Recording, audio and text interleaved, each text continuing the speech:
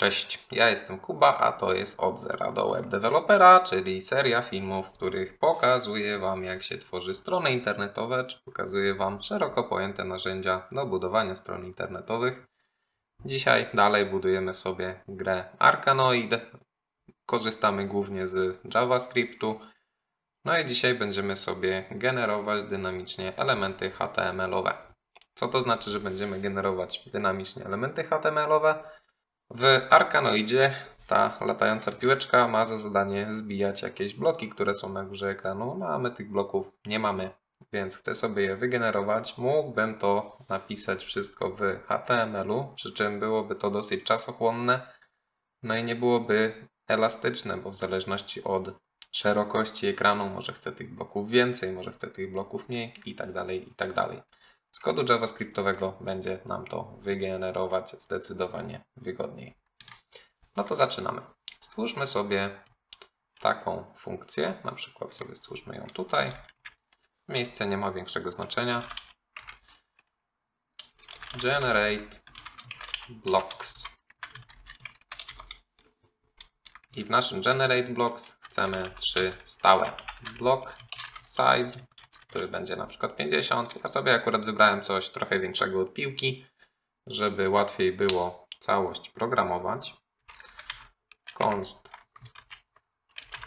space równe 10 to będzie mój odstęp między blokami i const block class game. Tej klasy będę używał później, żeby zgromadzić wszystkie te bloki w jednej zmiennej. No to teraz generujemy bloki. For let i równa się 0, czyli generujemy je w pętli. Spróbujmy sobie na razie wygenerować 10 bloków.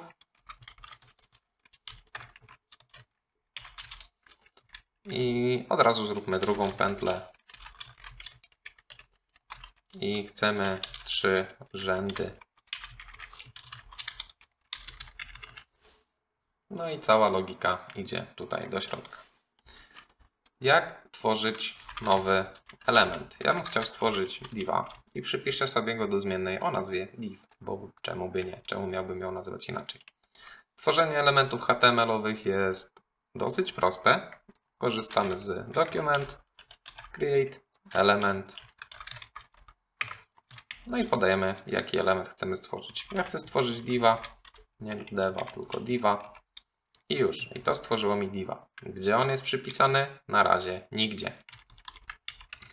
Żeby go dodać gdzieś, no to potrzebujemy złapać element, do którego chcemy go włożyć.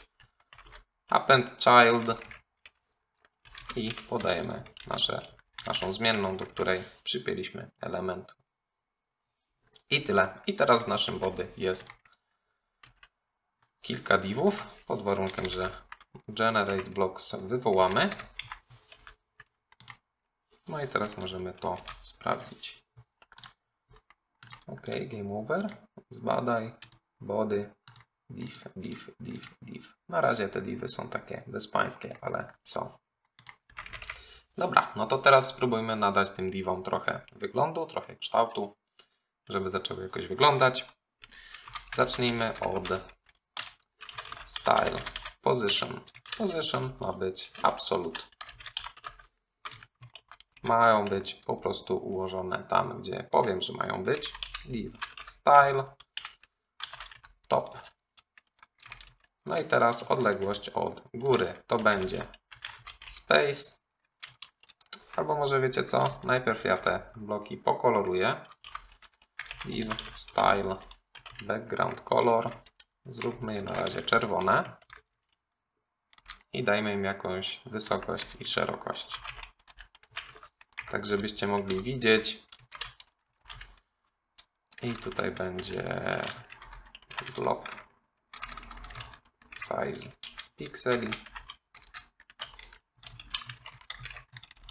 Podobnie z wysokością. No i teraz mamy wszystkie bloki jeden na drugim. Teraz, żebyście widzieli lepiej, co która linijka kodu robi, no to będziemy sobie dawać im pozycję. div style i odległość od górnej krawędzi to będzie space plus space razy j plus block size razy j. Czy to nam coś dało? Prawie. Jeszcze piksele. No i mamy trzy rzędy. Podobnie z odległością od lewej strony. Space, space razy i, block size razy i. No i mamy 10 na 3. Ale teraz chciałbym uzależnić ilość tych bloków od wielkości mojego body. Więc tutaj nie będę dawał mniejsze od 10, tylko użyję sobie window inner width. No i chcę to podzielić przez block size plus space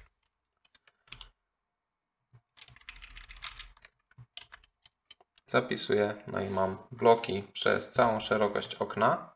Zobaczmy, czy one nie wystają. No nie, idealnie się równają tutaj z naszym okienkiem, więc powinno być ok. Podobnie z tą trójką tutaj. Użyjmy sobie window, inner height. No i chciałbym, żeby te bloki zajmowały tak 30 parę procent szeroko wysokości mojego body. No i podobnie block size plus space. No i mam czerwone bloki przez całą szerokość i mniej więcej 1 trzecią wysokości mojego okna. Co zostało nam do zrobienia? Może byśmy je jakoś polabelowali. Dajmy im jakieś ID. Na przykład i, i J, J. To powinno być dostatecznie unikalne. No i jeszcze klasa. Block class, żeby móc je później złapać. No to sobie może jeszcze je pokolorujemy. Function random color. Stwórzmy sobie funkcję, która nam będzie zwracać losowy kolor. No i losowy kolor to może być na przykład RGB. No i teraz tutaj musimy losować wartości z przedziału od 0 do 255. Jak to zrobić? Math random daje nam wartość z przedziału, no, pseudolosową wartość z przedziału od 0 do 1. Math round zrobi nam z tego liczbę całkowitą. A jak wartość pomiędzy 0 a 1 pomnożymy razy 255, to dostaniemy wartość z zakresu 0,255. I tak chcemy zrobić 3 razy. Zapisuję. Używam random color zamiast stałego koloru. No i mamy kolorową planszę. Podsumowując, żeby dodać element do kodu HTML-owego strony, czy żeby go w ogóle stworzyć, posługujemy się zmienną document i funkcją create element do samego stworzenia takiego elementu. Jeżeli chcemy go dodać w konkretne miejsce, no to musimy sobie złapać taki nasz element. Ja akurat dodawałem wszystkie te divy do body. No to złapałem sobie body wcześniej przez document get element by id. No i używam append child. Jeżeli bym chciał, żeby te bloki były dziećmi na przykład tej mojej belki, no to mogę dać tutaj bar append child. Więc na dziś to wszystko. Stworzyliśmy sobie kolorową planszę. Możemy sobie dalej programować i sprawić, żeby piłeczka zaczęła zbijać nasze bloki. Wielkie dzięki za oglądanie. Do usłyszenia w kolejnych filmach.